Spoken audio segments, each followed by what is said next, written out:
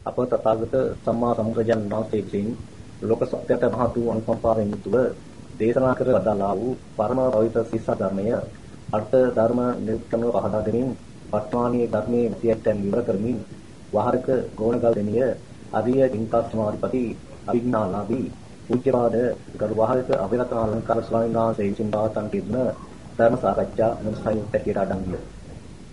අප ආර්යයන් වහන්සේගේ ධර්ම දේශනා ඇසුරින් මා විසින් සම්පාදනය කරන ලද නිවන් වඩන පිරිස දහම් සංයුක්ත ඇතිරිගේ 17 වන සංයුක්ත ඇතියයි මේ. මෙම සංයුක්ත ඇති විශේෂත්වය වන්නේ මෙහි අගට යෙදී ඇති දේශනා 10 පාරයන් වහන්සේ පැවිදීමට පත්වීමට ප්‍රථම පාත්‍රද දේශනා වීමයි.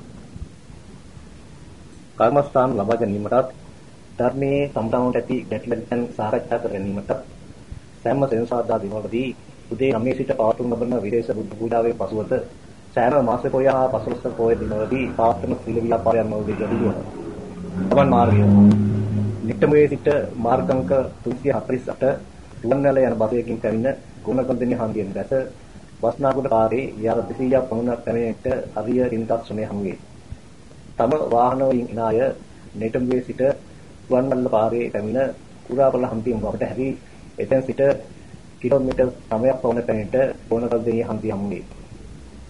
එම හන්දියෙන් වමට හැරි යාර 200ක් පමණ පැමිණෙට අරිය තින්තක්ෂණය හමු වේ.